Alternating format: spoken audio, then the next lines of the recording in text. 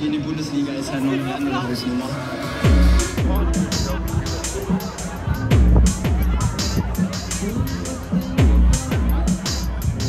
So, da steht da Yusuf Pausen, erfolgreiche Saison gehabt. Aber sag mal, lass uns mal was anderes äh, als über Fußball reden. Hast du ein verborgenes Talent? Kannst du auch irgendwas anderes? Ob ich irgendwas anderes kann? Oh, musst du vielleicht äh, die, wer am nassen zu mir steht, äh, fragen, ob ich vielleicht tanzen kann oder nicht. Also ich finde selbst, wenn auf jeden Fall gestern Abend, äh, wo wir ein bisschen äh, mit der Mannschaft gefeiert haben, haben wir ja, dann denke ich schon, dass ich tanzen kann auf jeden Fall. Willi, sag mal, ähm, heute ganz schick in äh, Hemd und Sakko. Ähm, was trägst du lieber, Trikot oder Hemd? Ganz klar natürlich Trikot und da fühle ich mich auch deutlich wohler in einem, in einem schönen Trikot auf dem Fußballfeld.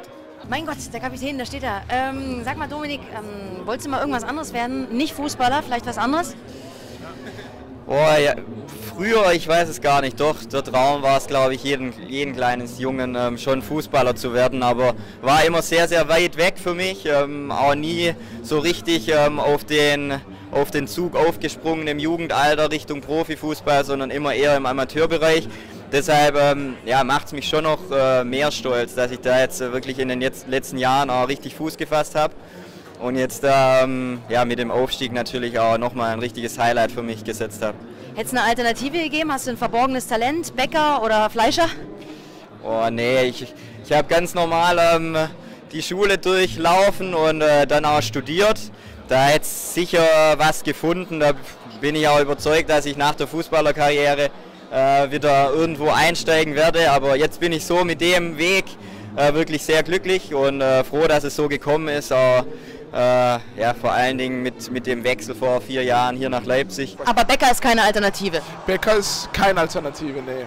Vielleicht äh, ähm, äh, in der Bank arbeiten oder so. Ich bin jetzt ziemlich gut mit Zahlen. Ich bin gespannt. Klar spielt man als Junge hauptsächlich wegen Spaß gerne gerne Fußball und dann träumt man natürlich, mal im schönen vollen Stadion zu spielen. Dass es natürlich Profi, zum Profi gereicht hat, ist es natürlich ein Privileg. Kannst du ein und Instrument spielen?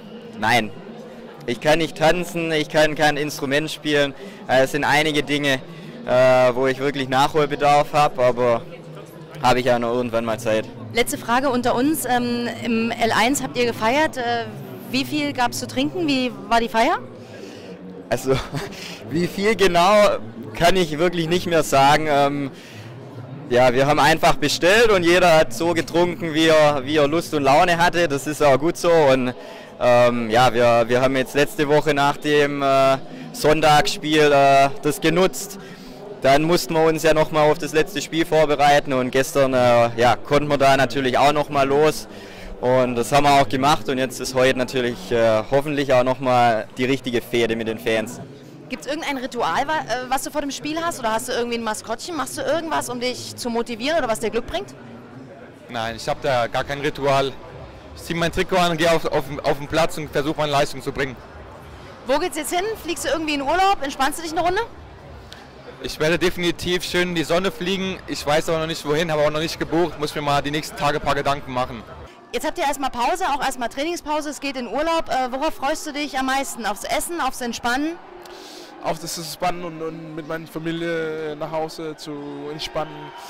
Ich habe ja, äh, diese Saison war sehr, sehr intensiv und ich war sehr selten in, in Kopenhagen dieses, diese Saison. Äh, und ja, also ich freue mich schon mit meinen äh, besten Kumpels, meiner Familie, meinen Freundinnen äh, zusammen entspannen zu können und, und äh, richtig relaxen können. Ich wünsche viel Spaß dabei. Dankeschön.